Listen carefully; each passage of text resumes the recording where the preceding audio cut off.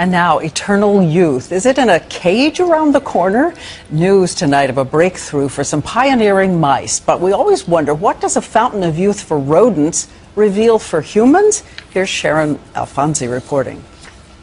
I feel tremendous. In the movie Cocoon, it's a swimming pool that turns back the clock for a group of senior citizens. But now researchers have found a way not just to stop, but reverse the aging process.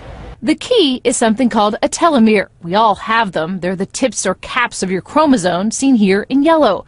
This is what it looks like in a young adult. But as you grow older, the telomeres become damaged and frayed, and as they stop working, we start aging, experiencing things like hearing and memory loss.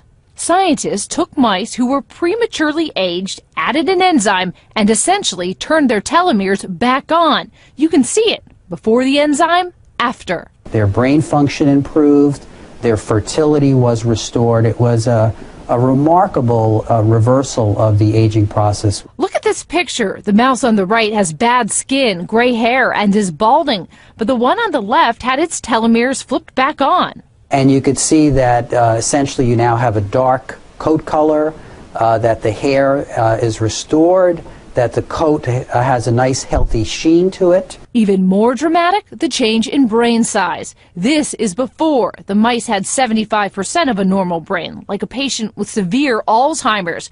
But after the telomeres were reactivated, the brain returns to normal size.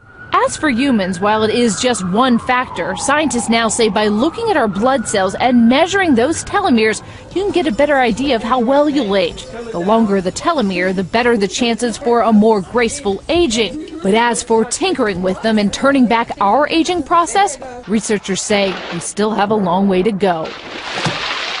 Sharon Alfonsi, ABC News, New York.